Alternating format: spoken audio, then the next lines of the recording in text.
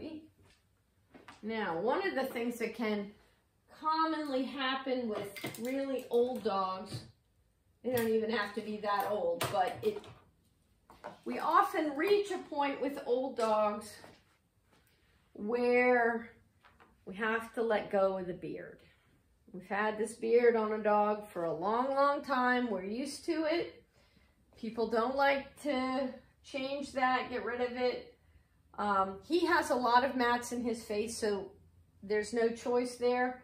But even if he didn't, especially as they grow more senile often, like I said at the beginning, when they have to have their faces interact with or held or or anything done to them, they are resistant and sometimes they even become frightened and frantic. So I'm going to move a little closer because there's a couple of little hacks I'm going to teach you about uh, getting, cutting a beard down if you need to. This is mostly something we do with old dogs, but not always. Oh my goodness. There's a big old burr in there. All right, buddy. Well, we'll get that out. Dreadlock and a burr at the base of his at the base of his mouth. Okay. So, there's a whole lot of hair here that we're just never going to need. If he was going to have a nice trimmed up head, he'd only have about this much anyway. So this first bit, we can just go ahead and take an angle this way with the scissors. The thinning shears probably. I like to use the thinning shears because it's not quite as harsh a cut as, um, as straights. So thinning shears look like this. You have a straight blade on one side and you have teeth on the other side. And starting at this, at the corner of the eye, I'm gonna see how I've got the front of the beard, the part I'm gonna keep in my hand. And then the part that I'm not gonna keep is loose here. And so I'm to start just a little at a time with my thinning shears cutting into that. And I'm slowly moving this way. I hold the dog's head at this angle so that the hair falls pretty naturally the way I want it to. All right, I'm going to shorten this eyebrow a little bit also.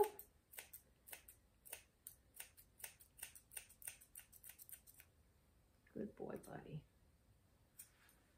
And let's stay with the beard.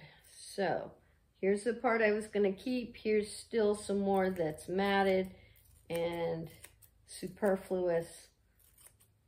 I don't know ultimately how much of this beard we're going to be able to save.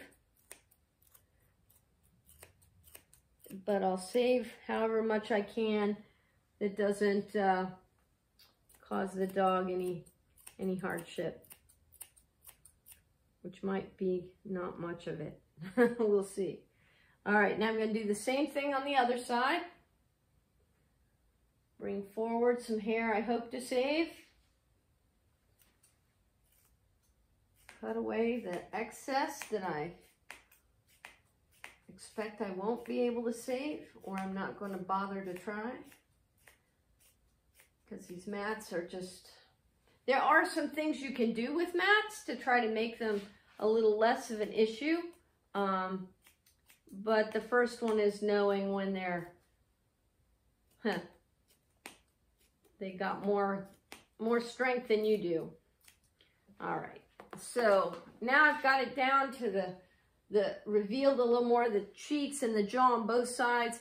But I see I've got a couple of dreadlocks now um, back in what was the part underneath the throat. So I'm going to have to clipper that away still. Can gently lift up and see how much of that hair I've saved. Pull that forward. And then just move that line, that clipper line right here, just move it a little bit forward. All right, now let's see. No, still some pretty big mats there, so I'm going to do the same thing again.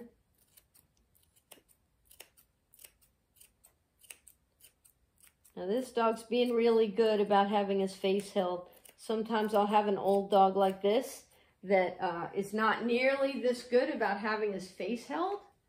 And we don't even really get an opportunity to try to save any of the beard. Then we just have to go right to a retirement beard.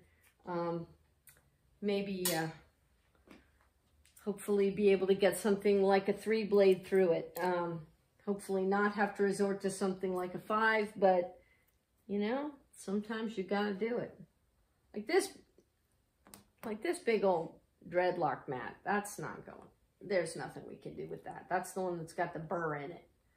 So I'm gonna lift the hair out of the way, really isolate the hair I wanna work with. I'm really grateful how good he is.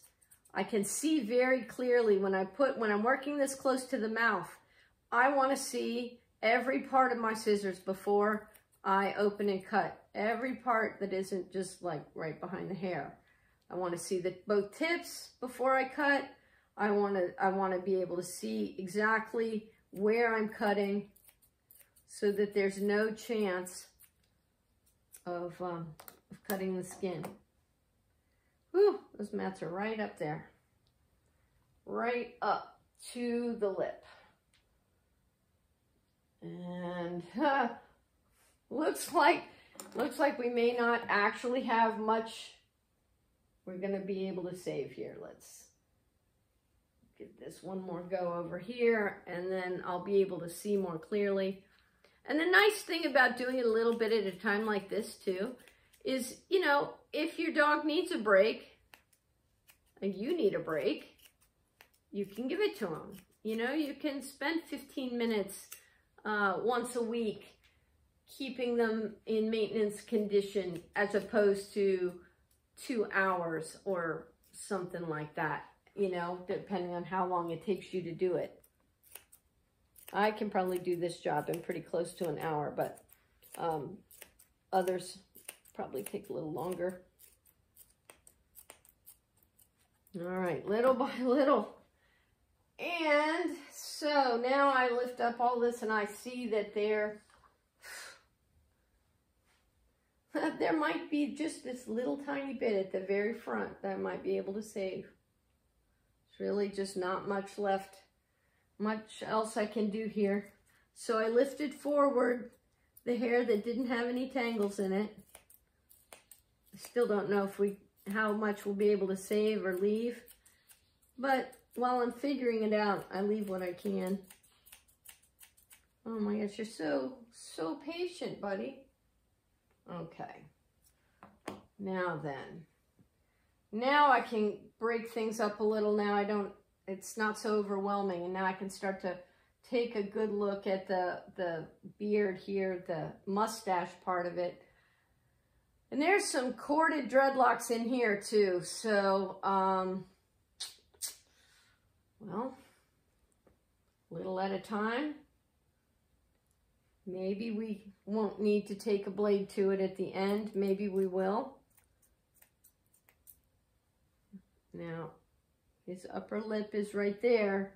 So again, I'm always going to work so that I can see. And maybe I can only take a few trims at a time. And maybe you have to keep moving around to make sure that you're putting the scissors in a place where you can see what it, what's going on.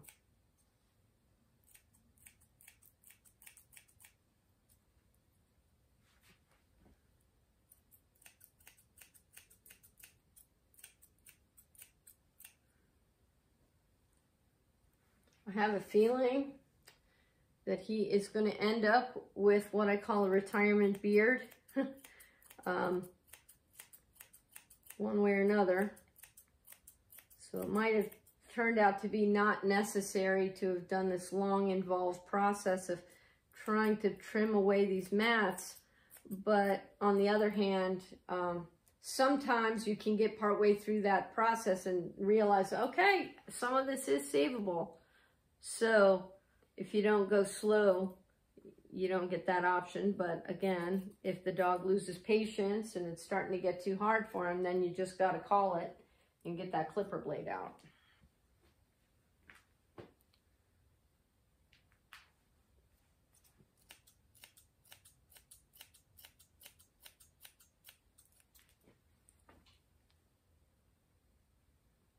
Just gather the hair up.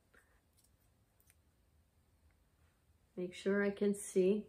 If I am not comfortable with how close I have to be to the skin of the lips or the ears or something, I can pinch the hair between my thumb and forefinger and scissor right up to my finger and thumb.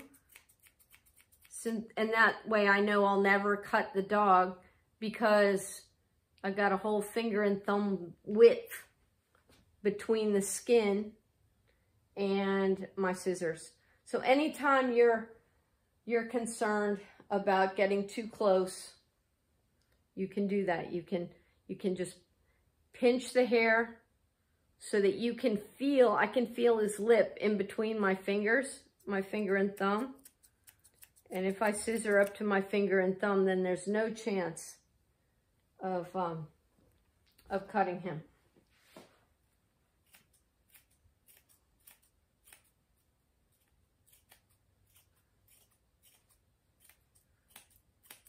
Cut some of the mats in half on this side. They're still pretty big.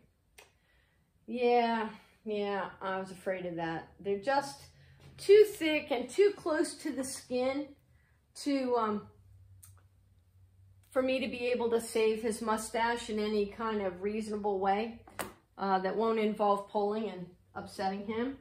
So I am going to go to using a clipper blade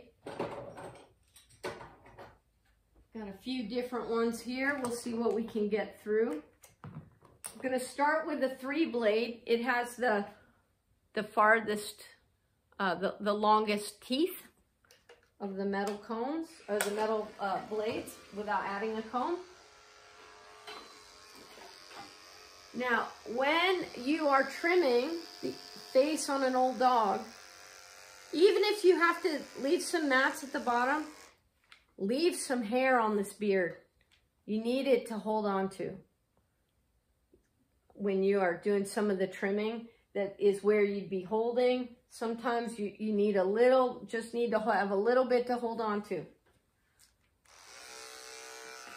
All right, so lightly, yeah, sometimes they don't like the, the clipper on their face. The vibration makes it sore. He did a little better when I started from the back. Yeah, sorry, buddy. Retirement beard for this old guy. If there's some places where I can't get the clipper blade through, I may have to go back to thinning some mats out again. The mats on this side are thicker. Okay. Now, We'll even this up a little bit. Let's, uh, let's get him some eyes back real quick. I'm to scissor this area between the eyebrows right here. It's called the stop. First, I'm to make a little path straight up between the eyes with a lot of little cuts. Light though. I'm not uh, uh, opening and closing hard. I use what I call the spaghetti grip, the wet noodle grip. You really only want to be holding the tools as hard, uh, the minimum amount of hard that it keeps them in your hands. Now let's get the inside corner of the eye. A lot of people think that the dog can't see because the eyebrow is in the is in their way. What keeps them from being able to see is more the fan of hair that grows up right here off the muzzle. So we're going to trim that back.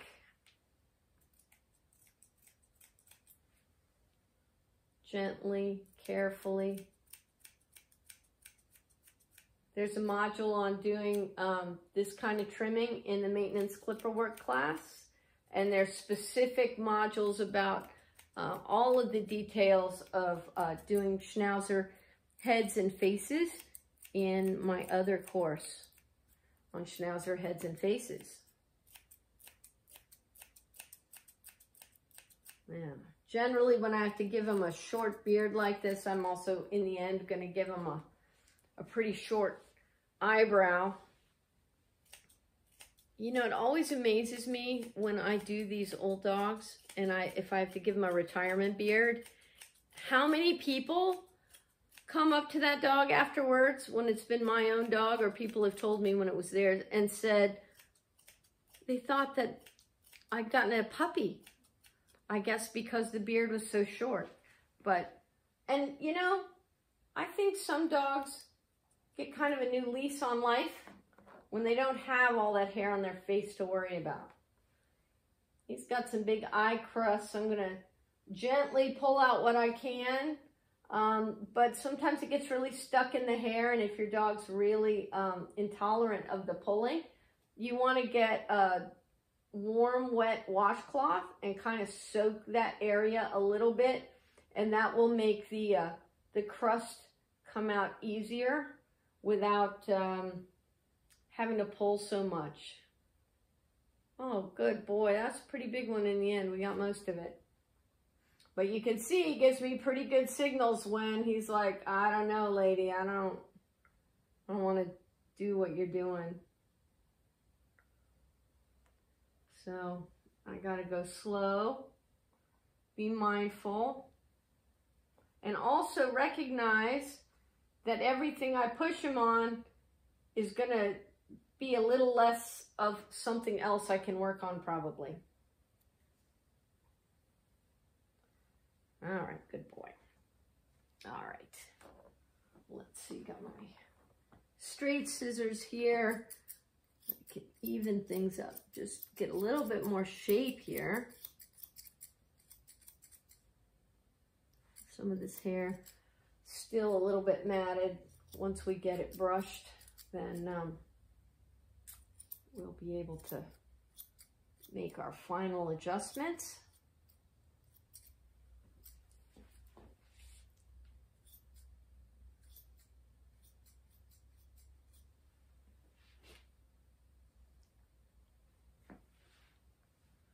Okay, now let's redo this clipper work a little bit now that we know where the new lines are.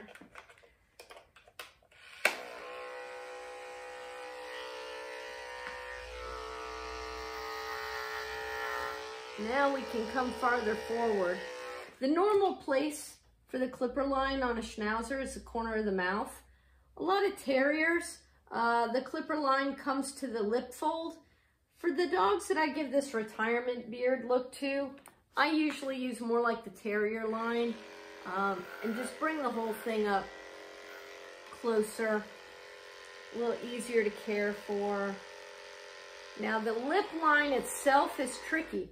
So what I learned to do in grooming school, stick my finger up in the pocket of the cheek to stretch the skin so that I can clipper down along the contour of the lip line.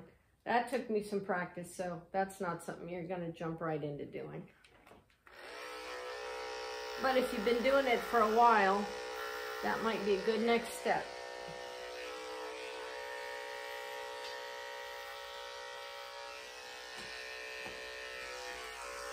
All right, so since that's come forward, then that's going to change this line right here. Can't believe how patient this boy's being.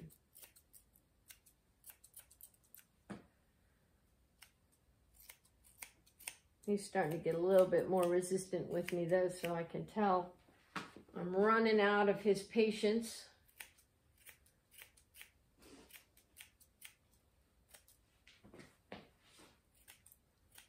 Yeah. I don't like having to bring their beards really short um, in terms of appearance. But sometimes you just have to. He's 14. He shouldn't have to deal with anything just because I want him to look a certain way.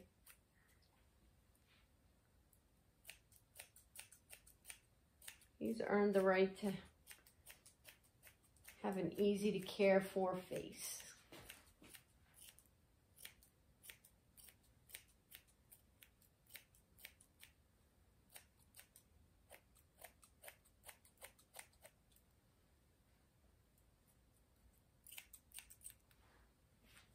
right, let me trim the edges of his ears a little bit.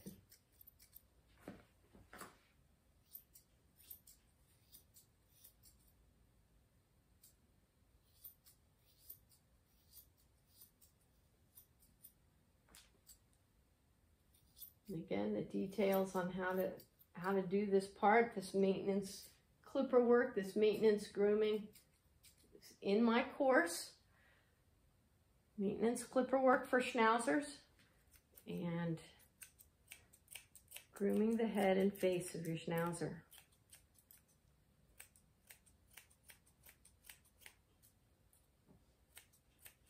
If you ever have any questions about anything you've seen me do in a video or uh, in a demonstration or anything else, and you'd like to ask me a question, by all means, please feel free to email me at strawhatstandards at gmail.com and uh, I'll be happy to set up a free consultation call with you or, or anything else to dis, uh, discuss any special needs you have.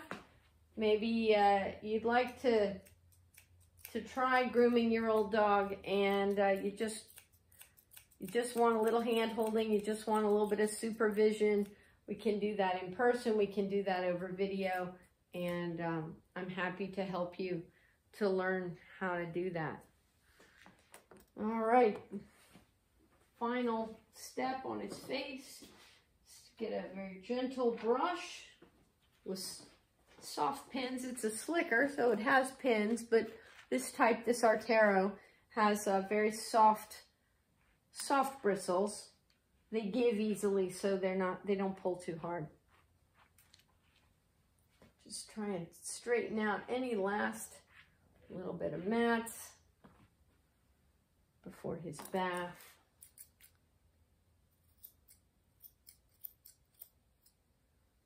Good boy. All right. There we've got retirement, a retirement face on a nice 14-year-old dog. So patient with me. I'm so pleased.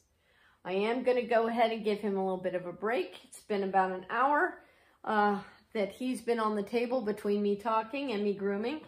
And after he takes his break, then I'm going to trim down his legs and trim less, uh, trim away some of this excess hair on his underline. He's got some mats in his legs, so these are probably going to end up shorter also.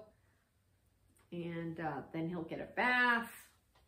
They get fluffed out a little bit. Boy, old dogs are super, super sheddy. So um, give him a good bath. That'll help get rid of some of this excess coat. So then when I re-clipper him again afterwards, it'll be smoother and uh, not as many clipper lines and stuff like that. So uh, that's another way to get a little bit better results. Pre-clip, then bathe, dry, and then come back and re-clipper. Um, trying to get it all done in one go. Uh, generally, you don't get as nice of results. And, uh, you know, if, if your dog lets you, if it's a younger dog, um, and you have that option to do two passes with the clippers, uh, I think you'll like the results that you get better than just doing one. All right. Thanks, buddy. Mm. Thanks, everybody. Love your dog for me.